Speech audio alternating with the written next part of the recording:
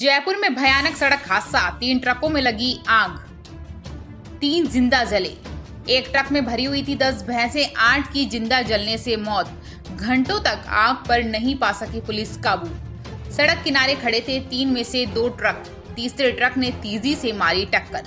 तीनों ट्रकों के डीजल टैंक फटे और उसके बाद बेकाबू हो गई आग। राजधानी जयपुर के दूदू इलाके से बड़ी खबर आ रही है। दूदू में आज सवेरे एक के बाद एक तीन ट्रक आपस में टकरा गए और उसके बाद तीनों में भीषण आग लग गई। आग को काबू में करने के लिए चार दमकल को बुलाना पड़ा। उसके बाद तीन से चार घंटे में आग पर काबू पाया जा सका। आग लगने से तीन लोग इतनी बुरी तरीके से जल गए कि तीनों राख के ढेर में बदल गए। तीनों की पहचान फ़िलहाल पुलिस के लिए चुनौती बन गई है। उधर इस घटना के बाद पुलिस की लापरवाही देखने को मिली।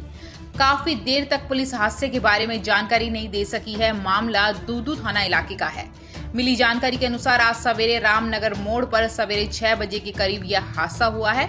पुलिस को जानकारी दी गई है कि दो ट्रक सड़क किनारे खड़े थे। इसी दौरान तीसरे ट्रक ने उसमें तेज़ी से टक्कर मार दी। उसके बाद एक कर तीनों ट्रकों के डीजल टैंक फट गए। इसी दौरान एक ट्रक से चिंगारी निकली और फिर तीनों में आग लग गई। आग के दौरान तीन लोगों की झुलसने से मौत भी हो गई है। दो के अन्य झुलसने की भी सूचना मिल रही है।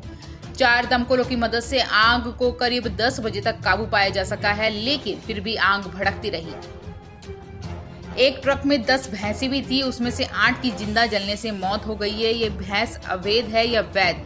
इस बारे में भी पुलिस जाँच पड़ताल कर रही है। हादसे की भयावरता इतनी ज़्यादा थी कि आसपास के इलाकों को पुलिस ने ब्लॉक कर दिया था। मरने वालों के बारे में भी पुलिस जानकारी जुटाने में लगी हुई है।